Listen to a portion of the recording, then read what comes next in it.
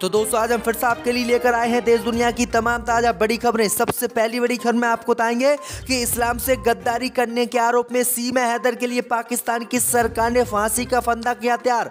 भारत से लौटते ही पाकिस्तान में सीमा हैदर को दी जाएगी फांसी की सजा। वहीं आपको बताएँगे दोस्तों की बाबरी मस्जिद के बाद अब उत्तर प्रदेश में एक और मस्जिद पर बनेगा राम मंदिर। कोर्ट ने सुनाया फैसला, मुस्लिम पक्ष ने किया विरोध। वहीं आपको बताएँगे दोस्तों की सीमा हैदर ने मोदी योगी से लगाई भारत की नागरिकता देने की गुहार। कहा, पाकिस्तान गई तो जाऊँगी मारी। वहीं आपको बताएँगे दोस्तों कि आतंकी खालिस्तानी पन्नू ने अमेरिका से अमित शाह को दी जान से मारने की धमकी, मोदी सरकार की बड़ी चिंता। वहीं आपको बताएँगे दोस्तों कि सीमा हैदर के बाद नेपाल सीमा से चीनी नागरिक ने की भारत में घुसपैठ। जासूसी के आरोप में बॉर्डर पर बीएसएफ के जवानों ने किया गिरफ़्तार। वहीं आपको बताएँगे दोस्तों कि उत्तर प्रदेश में Bhim Army chief Chandrashekhar Ravan RLD के टिकट पर लड़ेंगे लोकसभा चुनाव। वहीं आपको बताएँगे दोस्तों कि लोकसभा में मोदी सरकार ने दी जानकारी, कहा देश में मुसलमानों की आबादी है 20 करोड़। तो दोस्तों, सभी खबरों को आपको एक एक कर बताने वाले हैं। वीडियो को लाइक कर, चैनल को सब्सक्राइब कर दें। इसी बीच पर तो दोस्तों, अगली खबर की ओर तो पाकिस्तान में सीमा हैदर के लिए फांसी का फंदा हुआ तैयार। भारत से लौटते ही पाकिस्तान में सीमा हैदर को दी जाएगी फांसी। जब दोस्तों, आपको बता दें कि पाकिस्तानी महिला सीमा हैदर को अब भारत की एजेंसियाँ पाकिस्तान वापस भेजने की तैयारी कर रही हैं। इस बीच पाकिस्तान से खबर सामने आई है कि पाकिस्तान पहुँचते ही सीमा हैदर को फांसी की सजा दी जाएगी। दरअसल आपको बता दें कि पाकिस्तान में ईसा निंदा करने के आरोप में सीमा हैदर को फांसी की सजा दी जाएगी। दरअसल आपको बता दें कि पाकिस्तान की सरकार ने सीमा हैदर पर तीन गुना करने का आरोप लगाया है। सबसे पहला गुना करने का यह आरोप है कि सीमा हैदर पाकिस्तान छोड़कर भारत भागी और भारत में अवैध रूप से रही। दूसरा गुना उसने ये किया है कि उसने इस्लाम धर्म छोड़कर हिंदू धर्म अपनाया। और तीसरा गुना उसने ये किया है कि उसने हिंदू लड़के से शादी की और पाकिस्तान के लिए गलत गलत बातें कही। इसी से नाराज़ होकर पाकिस्तान की सरकार अब सी महदर को मौत की सजा सुनाएगी। तो ये बड़ी अपडेट आ रही दोस्तों कि भारत से जाते ही सी महदर को जो है मौत की सजा सुनाई जाएगी, यानी फांसी सी महदर को दी जाएगी। इसी बीच बढ़ते दोस्तों, अगली खबर की ओर तो बाबरी मस्जिद के बाद अब उत्तर प्रदेश में एक और मस्जिद पर बनेगा राम मंदिर, कोर्ट ने दिया आदेश। जब दोस्तों, आपको बता दें कि बाबरी मस्जिद के बाद अब उत्तर प्रदेश की एक और मस्जिद को तोड़कर राम मंदिर बनाने की तैयारी चल रही है और कोर्ट ने ऐसा ही आदेश दिया है। दरअसल आपको बता दें कि बाबरी मस्जिद की जहाँ पर जाँच करने का आदेश कोर्ट ने सुनाया था, उसके बाद बाबरी मस्जिद को तोड़कर राम मंदिर बनाया गया। उसी तरह से अब ज्ञानव्यापी मस्जिद में भी वाराणसी के कोर्ट ने ज्ञान ज्ञानव्यापी मस्जिद के जाँच के आदेश दिए हैं और उम्मीद जताई जा रही कि जाँच के बाद इसको भी तोड़कर मंदिर बनाने के आदेश दिए जाएँगे। दरअसल आपको बता दें कि ज्ञानव्यापी मस्जिद मामले में वाराणसी कोर्ट ने आज बड़ा फैसला सुनाया है। कोर्ट ने मस्जिद परिसर के एएसआई सर्वे की इजाज़त दी है। मुस्लिम पक्ष ने सर्वे कराने का विरोध किया है। कोर्ट के फैसले के अनुसार विवादित क्षेत्रों को छोड़कर पूरे परिसर का सर्वे होगा। इस मामले में हिंदू पक्ष की नुमाइंदगी कर रहे वकील विष्णु शंकर जैन ने कहा कि मुझे बताया गया है कि मेरी एप्लीकेशन मंजूर कर ली गई है और अदालत ने बजू टैंक को छोड़कर जिसे सील कर दिया गया है, ज्ञानव्यापी मस्जिद परिसर का एएसआई सर्वे कराने का निर्देश दिया है। तो ये बड़ी अपडेट आई दोस्तों कि मुस्लिम पक्ष ने इसका विरोध किया, लेकिन विरोध के बावजूद भी कोर्ट ने उन्हें इस तरह की कार्रवाई करने के निर्देश दिए हैं। इसी बीच पर तो दोस्तों, अगली खबर की ओर तो सीमा हैदर ने मोदी और योगी के सामने फैलाए हाथ, कहा पाकिस्तान गई तो जाऊँगी मारी। जब दोस्तों, आपको बता दें कि पाकिस्तान से भारत आई सीमा हैदर मामले में अब एक के बाद एक नया मोड़ आ रहा है। शुक्रवार सुबह से ही सीमा के घर के बाहर मीडिया कर्मियों का जमावड़ा लगा हुआ है। सब सीमा से यही जानना चाहते हैं कि एटीएस ने उसने क्या क्या पूछा। क्या सीमा सब कुछ सच बोले या उसके बयानों में कोई विरोधाभास है? अगर सीमा को वापस भेज दिया जाएगा तो उसके साथ क्या होगा? वहीं आपको बता दें कि सीमा हैदर पाकिस्तान वापस जाना नहीं चाहती है। उसने उत्तर प्रदेश के मुख्यमंत्री और प्रधानमंत्री मोदी से नागरिकता देने की गुहार लगाई है। सीमा हैदर ने कहा कि प्रधानमंत्री मोदी और योगी आदित्यनाथ उसे भारत की नागरिकता दें और उससे पाकिस्तान ना भेजें। लेकिन मोदी सरकार उसकी बात ना सुनते हुए उसे पाकिस्तान रिपोर्ट करने की तैयारी कर रही है। इसी बीच पर तो दोस्तों, अगली खबर की ओर तो खालिस्तानी आतंकी ने अमित शाह की हत्या करने की दी धमकी, मोदी सरकार में मचा हड़कंप। जब दोस्तों, आपको बता दें कि केंद्र केंद्रीय गृह मंत्री अमित शाह और विदेश मंत्री एस जयशंकर को एक खालिस्तानी आतंकी संगठन ने जान से मारने की धमकी दी है, जिससे मोदी सरकार की मुश्किलें बढ़ गई हैं। एक वीडियो संदेश में अमेरिका में बैठा प्रतिबंधित संगठन सिख पोर्ट जस्टिस का आतंकवादी जी एस पन्नू ने दोनों नेताओं के अलावा कनाडा में भारतीय उच्चायुक्त संजय कुमार वर्मा की विदेश यात्रा के बारे में जानकारी देने वाले 125 अमेरिकी डॉलर का इनाम की घोषणा करके इन दोनों को जान से मारने की धमकी दी है।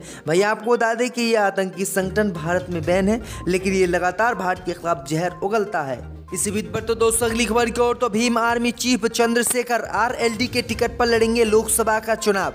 जब दोस्तों आपको बता दें कि ओम प्रकाश राजभर के बीजेपी में शामिल होने के बाद अब उत्तर प्रदेश में नए समीकरण बन रहे हैं।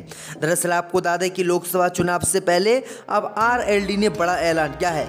दरअसल आपको बता दें कि आर चीफ जयंत चौधरी ने ऐलान किया है कि Bhim Army chief Chandrashekhar Azad Ravan RLD के टिकट पर आने वाले समय का लोकसभा चुनाव लड़ेंगे और वो संसद जाएँगे। वहीं आपको बता दें कि उनके इस बयान के बाद पूरे उत्तर प्रदेश में हड़कम मचा हुआ है और उम्मीद जताई जा रही कि आरएलडी और भीम आर्मी चीफ का गठबंधन 2024 के लोकसभा चुनाव में होगा। समाजवादी पार्टी को इससे दरकिनार किया जा सकता है। तो ये बड़ी अपडेट आ रही दोस्तों। इसी बीच पर तो दोस्तों, अगली खबर की ओर तो सीमा हैदर के बाद नेपाल सीमा से चीनी नागरिक भारत में कर रहा था घुसपैठ। जासूसी के आरोप में गिरफ़्तार। जय दोस्तों, आपको बता दें कि सीमा हैदर के बाद अब नेपाल सीमा से एक चीनी नागरिक भी सीमा हैदर हैदर की तरह अवैध रूप से भारत में घुसपैठ कर रहा था, लेकिन इसको बीएसएफ के जवानों ने गिरफ़्तार कर लिया। दरअसल आपको बता दें कि इस व्यक्ति को जासूसी के संदेह में बॉर्डर पर ही गिरफ़्तार किया गया है। दरअसल आपको बता दें कि उनतालीस साल इस व्यक्ति की उम्र बताई जा रही है और बुधवार को ये नेपाल की सीमा से भारत में प्रवेश कर रहा था। जिस तरह से सीमा हैदर ने प्रवेश किया, अवैध रूप से उसी तरह से ये प्रवेश कर रहा था। लेकिन सीमा हैदर जो है, भारतीय सरकार को चकमा देकर भारत में घुसने की जो है हिम्मत कर पाई, लेकिन इसको वहीं पर गिरफ़्तार कर लिया गया। इसी बीच पर तो दोस्तों, अगली खबर की ओर तो हिंदू देवी देवताओं के नाम पर मुस्लिम संचालकों द्वारा चलाए जा रहे होटलों के विरोध में बैठे स्वामी एस महाराज।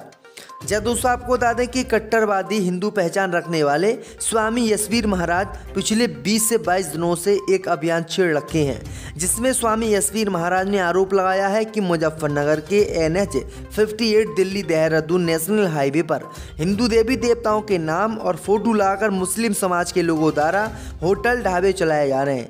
जो यहाँ से गुजरने वाले यात्रियों को गुमराह कर रहे हैं। कांवड़ यात्रा से पहले प्रशासन द्वारा इन सभी होटलों को बंद कर दिया गया था, लेकिन कांवड़ यात्रा के बाद अब ये होटल फिर दोबारा खुल गए हैं। जिसके बाद शुक्रवार को स्वामी यशवीर महाराज जिलाधिकारी कार्यालय पर पहुँचे और अपने समर्थकों के साथ भूख हड़ताल पर बैठ गए। स्वामी यशवी महाराज ने पहले ऐलान किया था कि हाईवे पर स्थित चंडीगढ़ ढाबे से इकट्ठा होकर होटलों पर जाकर भ्रमण करेंगे और उनके बोर्ड उतरवाने का काम करेंगे। लेकिन फिर उन्होंने अपने कार्यक्रम में बदलाव करते हुए जिलाधिकारी कार्यालय पहुंचकर अपना अंतन शुरू कर दिया। प्रशासन ने भी एहतियातन के तौर पर चंडीगढ़ ढाबे पर भारी पुलिस बल तैनात कर दिया। तो ये बड़ी अपडेट आ रही दोस्तों। इसी बीच पर तो दोस्तों अगली खबर की ओर तो संसद में मोदी सरकार ने दी जानकारी, देश में मुसलमानों की आबादी 20 करोड़। जब दोस्तों आपको बता दें कि देश भर में मुसलमानों की आबादी पर केंद्र की मोदी सरकार की ओर से संसद में बड़ा बयान दिया गया है। इस बयान के अनुसार केंद्र की मोदी सरकार ने दो हज़ार तेईस में देश भर में मुसलमानों की आबादी बीस करोड़ होने का अनुमान बताया है। दरअसल आपको बता दें कि दो हज़ार ग्यारह की जनगणना के अनुसार दोस्तों चौदह पॉइंट दो करोड़ भारत में मुसलमान थे, लेकिन 2020 में अब 20 करोड़ मुसलमान भारत में हो गए हैं। भाई, आपको बता दें कि उम्मीद ये जताई जा रही थी कि केंद्र की मोदी सरकार लगभग इसकी जानकारी पूरी देश को ना दे, लेकिन मोदी सरकार ने पूरे देश को इसकी जानकारी दी और मुसलमानों की संख्या बताई कि मुसलमानों की संख्या इस समय भारत में 20 करोड़ है। इसी बीच पर तो दोस्तों, अगली खबर की ओर तो ब्रिटेन के प्रधानमंत्री ऋषि सुनक को लगा झटका उपचुनाव में हारी पार्टी। या दोस्तों, आपको बता दें कि ब्रिटेन के प्रधानमंत्री ऋषि सुनक को बड़ा झटका आज लगा है। शुक्रवार को आए उपचुनाव के नतीजों में उनकी दो सीटों पर हार हुई है, जबकि एक सीट पर उन्होंने जीत हासिल की है। इस बीच कयास लगाया जा रही कि वह अपनी कैबिनेट में फेरबदल कर सकते हैं। आपको बता दें कि पिछले महीने ब्रिटेन के पूर्व पीएम बोरिस जॉनसन ने पार्टी गेट कांड पर संसदीय समिति की जाँच रिपोर्ट आने के बाद संसद की सदस्यता से इस्तीफा दे दिया था। वहीं उनके सहयोगी निगेल एडम्स ने भी इस्तीफा दे दिया था, जिसकी वजह से लंदन में उनकी सीट खाली हो गई थी। बस यही सीट सुनक के लिए एकमात्र अच्छी खबर बनी। सत्ताधारी कन कंजर्वेटिव ने इस सीट पर कब्जा किया है, लेकिन ऋषि सुनक दो सीटों पर हार गए हैं। जुडिशरी में कर दिए। अब जुडिशरी फैसला करेगी तो इसलिए वो इस तरकीब से अपने आप को बचाए रखना चाहते हैं और उनको छोड़ना भी नहीं चाहते हैं। समाजवादी पार्टी को उम्मीद है कि चुनाव से पहले आज़म खान साहब जेल से बाहर आ जाएँगे। हम तो ये उम्मीद करते हैं क्या? और हमारी कोशिश भी यही है कि वो जेल से भी क्या अभी बाहर आ जाए।